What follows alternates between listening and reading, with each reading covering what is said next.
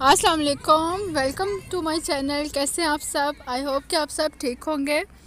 आज के वीडियो का मैं स्टार्ट करती हूँ। माशाल्लाह, बहुत खूबसूरत सनी डे था और वेदर काफ़ी चेंज हो रहा है और जैसे जैसे धूप निकल रही है वैसे वैसे एनर्जी ज़्यादा महसूस होती है अब। अभी मैं आपसे एक शेयर करने लगी थी टिकटॉक वायरल ड्रिंक था वेट लूज़ के लिए। इसमें आपने अर्ली मॉर्निंग, खाली पेट, कॉफ़ी लेके और नीम गर्म पानी लेके उसमें हाफ़ टी स्पून कॉफ़ी और साथ में लेमन के ड्रॉप्स ऐड करके तो आपने इसको खाली पेट पीना है।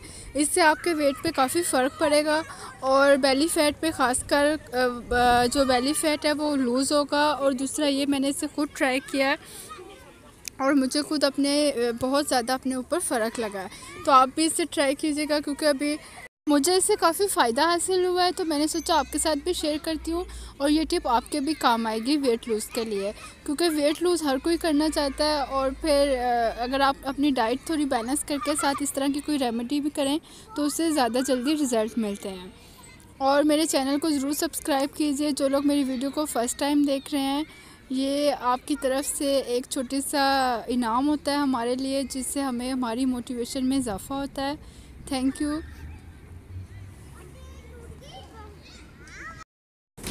वैसे मैं अर्ली मॉर्निंग जब उठती हूँ तो मैं उस, सबसे पहले मैं ये ड्रिंक पी लेती हूँ, उसके बाद मैं बच्चों का नाश्ता बनाती हूँ लंच बनाती हूँ और बच्चों को स्कूल छोड़ के आती हूँ। तो उससे भी मेरी वॉक भी हो जाती है और फिर ये ड्रिंक मैं पहले पी लेती हूँ और ज़रा ये मेरे ज़्यादा इस तरह से इसका ज़्यादा इफ़ेक्ट होता है। और वॉक करके आके फिर मैं अपना नाश्ता बना रही थी। नाश्ता वैसे ये मेरा जो था, ये आज थोड़ा हैवी नाश्ता था और ये वंस इन अ मंथ हो ही जाता है।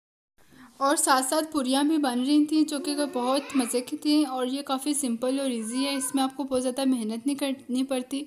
मैंने वैसे रेसिपी जो है ये अपने चैनल पे ऑलरेडी शेयर की हुई है। अगर आप में से कोई देखना चाहे तो आप वो देख सकते हैं।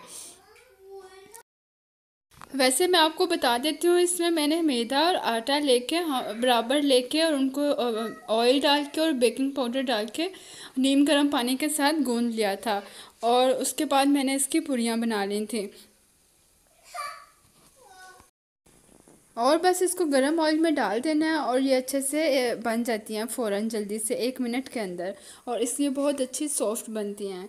और चनों की जो रेसिपी थी, वो तो सिंपल थी। प्याज ब्राउन मैंने किए थे और फिर उसके बाद अदरक, लहसुन डाल के, टमाटर डाल के और चने डाल के और फिर एंड पर थोड़ा सा योगर्ट डाल के तो उसकी अच्छी सी ग्रेवी जब बन गई थी, फिर मैंने चने ऐड किए थे और रेड चिल्ली सॉल्ट ये तो आप अपने हसबे ज़ायका डाल सकते हैं। और इस तरह से चने भी तैयार थे और साथ पूरियाँ भी। और ये नाश्ता, माशाल्लाह से अल्हम्दुलिल्लाह हो गया था, जो कि बहुत मज़े का था, क्योंकि बाहर से तो इस तरह की कोई चीज़ यहाँ पे मिलती नहीं है। तो इसीलिए फिर जो घर में हम बनाते हैं तो माशाल्लाह से अच्छी बन जाती है और फिर वो जायका भी आ जाता है जो पाकिस्तान में हम लोग खाते थे बाहर से।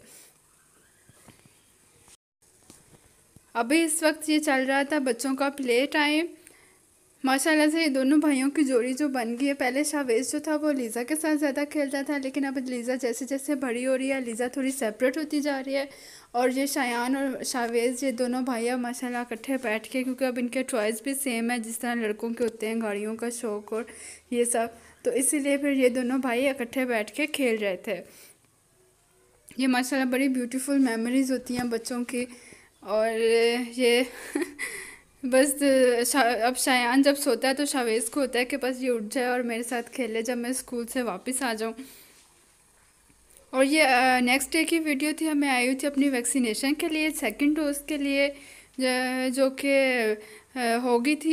इसके बाद मेरी तबीयत काफ़ी अपसेट रही थी, काफ़ी फीवर रहा।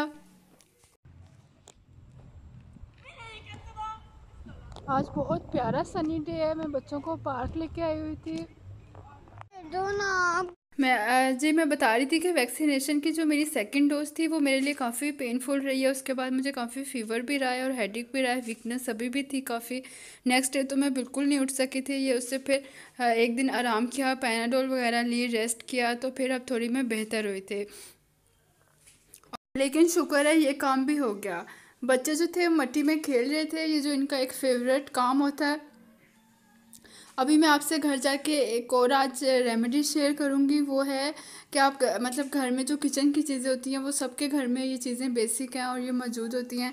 तो इनसे आप for skin instant skin bright mask है ये। इसके लिए हम लेंगे वन टेबल स्पून बेसन और फिर इसके साथ हाफ़ टी स्पून मैं इसमें कॉफ़ी ऐड करूँगी और कॉफ़ी ऐड करने के बाद इसमें मैं फ्यू ड्रॉप्स लेमन के डालूँगी, थोड़ी सी चीनी डालूँगी और जो मिल्क हमारे घर में होता है, यानी मिल्क थोड़ा सा इसमें ऐड करूँगी और इसका मैं थिक सा पेस्ट बना लूँगी। और इसको आप अपने फेस पे, हाथों पे अप्लाई करके देखें, एक तो इससे फ़ौर आपकी स्किन पे एक फ़ौर एक ब्राइटनेस आ जाएगी और दूसरा ये कि आपकी स्किन बहुत ज़्यादा क्लियर हो जाती है नीट हो जाती है। तो अभी मेरे हाथ में, एक हाथ में फ़ोन था तो मेरा से सही पेस्ट नहीं बन रहा था। खैर, मैं इसको ना फ़ोन को रख के फिर मैंने इसको सही से पेस्ट बनाया था और बस इसको आपने अपने फेस पे अप्लाई कर देना है और इसको फाइव मिनट्स फाइव से टेन मिनट्स के लिए अपने फेस पे लगा रहने देना है।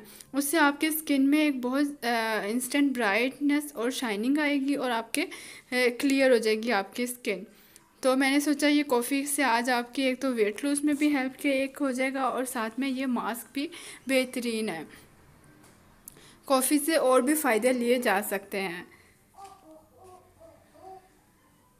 अभी आप देखिएगा, ये मेरे हाथों की स्किन काफ़ी डल हुई हुई थी और मैं अपने हाथों पे ये अप्लाई करूँगी और इसको फाइव टेन मिनट्स के लिए छोड़ दूँगी और इसी तरह मैं इसको अपने फेस पे भी लगा के छोड़ दूँगी।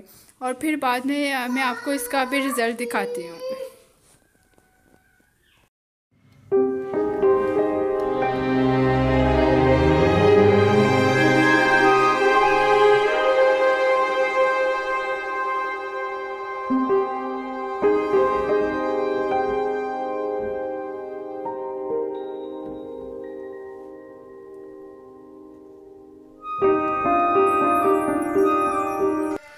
दस मिनट लगा रहने के बाद आप अपने हाथों को भी पानी के साथ वॉश कर लें और साथ अपने फेस को भी और टॉवल से ड्राई करने के बाद आप रोज़ वाटर का इसके ऊपर स्प्रे कर लें।